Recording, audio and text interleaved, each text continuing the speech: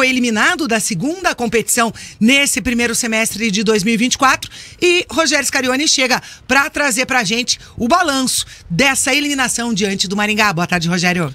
Boa tarde, TT. É, Curitiba falhou em mais um confronto eliminatório. Né? O segundo vexame do Coritiba nesta temporada de 2024. Como nós ah, estávamos falando aqui é, durante o intervalo, o pessoal não, não, não foi todo mundo, quem está nos acompanhando apenas pelo rádio não pôde escutar, mas nós destacamos que o Coritiba tinha três objetivos na temporada.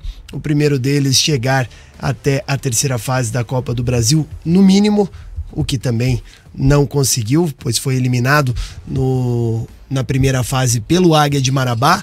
O segundo objetivo, chegar até pelo menos a final do Campeonato Paranaense, o que ontem também acabou caindo por terra e agora o Coritiba é, vai buscar o acesso, que é o seu principal objetivo no ano de 2024.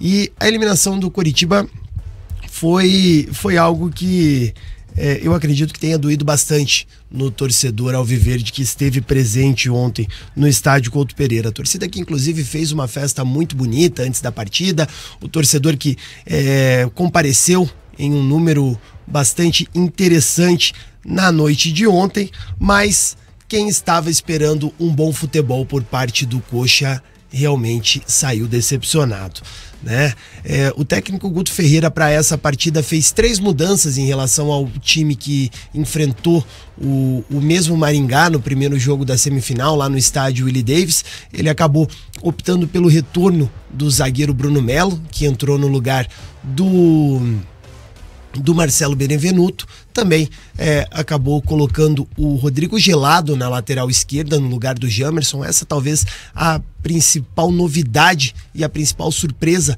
do Guto Ferreira para essa partida. E por fim, ele optou pelo retorno do Vini Paulista, que estava é, de fora desde o clássico Atletiba, quando acabou sofrendo uma lesão muscular e agora ele retornou e voltou na vaga do Sebastião Gomes. O Sebastião Gomes que só que, que teve uma lesão e, e fica cerca de 20 dias fora de combate. Ou seja, só volta para o início da Série B, junto com o elenco do Coritiba, que agora né, tem aí um período de intertemporada, já que está eliminado de todas as competições que disputou até agora e resta só a Série B para jogar. É, o time do Coritiba, TT, é, nós vínhamos falando muito na semana passada que tinha alguns objetivos. Né? O Guto Ferreira tinha alguns desafios para poder é, buscar reverter essa, essa desvantagem que ele tinha no placar. A primeira delas, óbvio, o placar de 2 a 0 que acabou perdendo no primeiro jogo. A segunda, talvez nem seja a culpa desse, desse elenco atual, desses jogadores, já que o Coritiba é, nunca conseguiu é, reverter um placar de dois gols ou mais em confrontos decisivos. E aí essa pressão também estava nas costas do jogador. Por que, que eu falo sobre isso? Porque os jogadores do Coritiba entraram muito pilhado desde o do apito inicial do árbitro. Logo no início da partida, com poucos instantes de bola rolando, o Figueiredo perde uma bola e acerta o jogador do Maringá sem ela. Então ali já mostra que nitidamente o time do Coxa estava nervoso. E isso acabou é, afetando muito o Coritiba dentro de campo. Foi um time muito nervoso e desorganizado é, taticamente. E essa, esse excesso de vontade do Coritiba, em muitas vezes no primeiro tempo, acabou atrapalhando a equipe. Tanto é que o Coritiba, num primeiro tempo, acaba não produzindo absolutamente nada. O Coritiba termina os primeiros 45 minutos sem chutar uma bola ao gol. O Davidson, ele não fez nenhuma defesa no primeiro tempo. E aí o, o técnico Guto Ferreira ainda perde um jogador que que teve um choque com um atleta do Maringá, que foi o Arilson, ele que num primeiro momento ainda foi atendido, é, colocou ali aquela touca para tentar estangrar, estancar um sangramento na cabeça, mas que acabou se repetindo por diversas vezes. Se eu não me engano, o Arilson precisou é, de pelo menos mais três atendimentos até ser substituído já no finalzinho do primeiro tempo. E aí o Guto Ferreira foi obrigado a fazer a primeira alteração e é, já nos acréscimos coloca o Matheus Bianchi em campo. é, uma, até uma, uma, novidade, uma, uma notícia sobre isso. No intervalo de jogo, o Arilson precisou ser levado a um hospital, porque ele acabou passando mal por conta da, do, do, do, volume de sangue que ele acabou perdendo durante o primeiro tempo. E aí ele, ele perdeu ali a consciência por alguns instantes, é, não chegou a cair no chão porque foi prontamente é, socorrido por alguns companheiros de, de Coritiba e aí foi chamado a ambulância que acabou levando o jogador para um hospital aqui da capital. É, a informação boa é que não, não tem nada grave. Ele passou por uma bateria de exames e tá tudo bem com o Arilson. Mas aí é, eu volto pro jogo e vem o segundo tempo, onde o Coritiba vem com uma postura é, um pouco um pouco diferente, né? Sabendo que precisava fazer é, pelo menos dois gols ainda nessa segunda etapa, com o Matheus Bianchi ao lado do Vini Paulista ali no meio-campo. E aos 15 minutos, o Guto Ferreira faz as primeiras alterações táticas dele. O problema disso é que essas alterações elas bagunçaram completamente essa equipe. Né? Nesse momento, o Guto Ferreira é, ele, ele põe a campo o Brandão e também o Lucas Ronier. E quando nós achávamos que o Coritiba é, teria talvez uma postura mais ofensiva, o que realmente nós vimos de, dentro de campo foi uma postura mais desorganizada, porque o Lucas Ronier acabou entrando como uma espécie de ala esquerdo e o, o Figueiredo acabou sendo deslocado para a ala direita. É, o Guto Ferreira propôs ali uma linha com três defensores: o Natanael pelo lado direito, o Maurício Antônio um pouco mais centralizado e o Bruno Melo, o zagueiro, pela esquerda. E o Coritiba ali já de uma forma completamente desorganizada é, tentava atacar o Maringá de qualquer maneira, e de qualquer maneira mesmo. Até destaco um dos comentários do Felipe Dalk durante a transmissão de ontem, é que a partir dos 15, 20 minutos da segunda etapa, talvez a maior, a, a principal jogada do Coritiba era chutão com o Pedro Morisco. Aliás, chutão foi o que não faltou no jogo de ontem, já que o Coritiba não conseguiu trocar passes. O Coritiba abusou muito de jogadas ali no chutão, procurando lançamentos diretos da defesa para o ataque. Então foi um coxa desorganizado que não conseguiu é, envolver o time do Maringá. E aí, não conseguir marcar gols e ser eliminado do Campeonato Paranaense foi consequência. No final da partida, o Guto Ferreira, técnico do Coxa, é, comentou ali o que ele viu desse jogo. Vamos ouvir o técnico do Coxa. Eu acho que qualquer coisa que a gente fale quando o resultado não acontece, a gente vai pesar por uma, um lado ou outro. E, como eu falei na, na entrevista passada, não é o que interessa para o nosso torcedor. Aliás, agradecer a presença do nosso torcedor, o apoio durante toda a partida. Pedir desculpas por não ter conseguido levar onde a gente gostaria, onde todo mundo gostaria. Eu acho que no jogo de hoje não faltou luta, não faltou aplicação. Agora, sou obrigado a dizer que é difícil de jogar contra o modelo deles. Foram três jogos e três jogos de dificuldade. Nós perdemos a classificação em dez minutos do jogo, acho que menos até, do jogo de, de Maringá.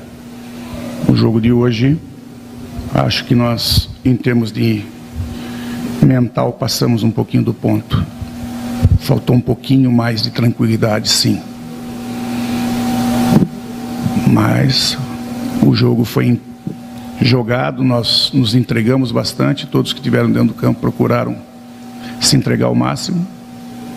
E o que a gente buscava, que era pelo menos um gol para mudar o estado anímico da partida, nós não conseguimos.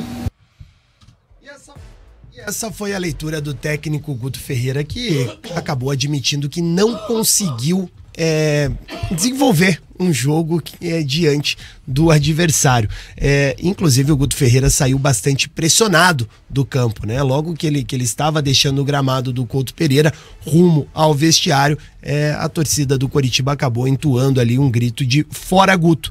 E nós perguntamos a ele exatamente em relação a isso, se o Guto se sentia pressionado por conta desses maus resultados no ano de 2024. Não vejo dessa maneira, né? Infelizmente, hein, nós temos uma cultura de situações imediatas, né? Infelizmente. É, eu acredito que o nosso trabalho vai fluir sim, né? É, eu acho que nós tivemos avanços importantes, mas ainda não na medida para a gente alcançar o que a gente precisava.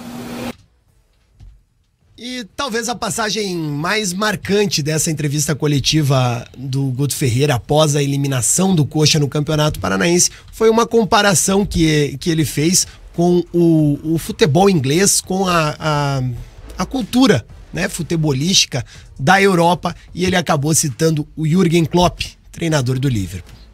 Então, quando se perde, parece que tudo está errado, né? Parece que tudo é, ninguém presta, ninguém serve. Agora é só olhar situações de trabalhos. O, o, vou, falar, vou falar uma situação completamente fora do contexto, né? mas só para explicar a cultura. O Liverpool perdeu quatro anos com o Klopp antes de atingir o que atingiu. Você vai se ajustando. Você vai tendo tempo de fazer ajustes que no meio da competição muitas vezes você não, não faz. É, será que está tudo errado? Será que tem que começar de novo do zero? É isso. Bom, o Guto Ferreira, obviamente, ele não se comparou com o Klopp. Mas ele, né, até quero deixar pro, pro Alê e pro Dalk, ele fez um paralelo com o futebol inglês ali numa, numa intenção de estar tá defendendo o seu trabalho, tá defendendo uma continuidade do, do projeto que ele tem no Coritiba. Vamos lá. É, o Klopp no Liverpool na primeira temporada foi finalista da Liga Europa, foi finalista da Copa da Liga e o Liverpool não caiu de divisão. O Liverpool não perdia todos os jogos fora. O Liverpool não foi eliminado das taças que disputou cedo, lá não tem estadual, mas só para fazer um comparativo. Então, não, não para mim, não cabe. Eu entendo o que ele quis dizer de ter, ter tempo para fazer o trabalho. Ele comparou a cultura. É, é, mas comparar a cultura, tudo comparar bem. Comparar a cultura, tudo bem, mas eu acho que a citação do Jürgen Klopp não é válida. Mas é porque o que, que ele quis dizer? Ele quis dizer que a questão de você precisa ter tempo de um trabalho não é porque caiu no Paranaense hoje que o trabalho é ruim. Você precisa ter tempo. Eu falei sobre isso na semana passada, só que o que eu vi ontem no Couto Pereira me assustou demais. Um time que com 5 minutos de jogo parecia que estava perdendo por 2 a 0 como era no agregado, falta, e já, tá, já tinha 40 minutos do segundo tempo no relógio. Se o Curitiba jogasse o Morisco, bem... Morisco fez... On, eu tava vendo os dados aqui. O Morisco fez 11 lançamentos. 11 para um goleiro. Não é bater tiro de meta, é lançamento quando a bola tá rolando. isso durante o jogo. Ele, ele, Sim. ele atentou esse, O Curitiba fato. treinou para pegar o Maringá que marca individualmente, para fazer o facão com o Robson e com o Friso, que entrou, essa bola entrou algumas Figueiredo. vezes. Perdão, Figueiredo. É, mas entrou no Friso também. Teve duas Sim. bolas que entraram no Friso. Treinou para fazer esse facão rápido, para sair do marcador individual de um lado da zaga e pegar o outro lado descoberto. Só que o Curitiba só fez isso. Então. O jogo inteiro. O Coritiba não conseguiu trocar três passes no meio campo. Esse não foi. Eu acho que assim,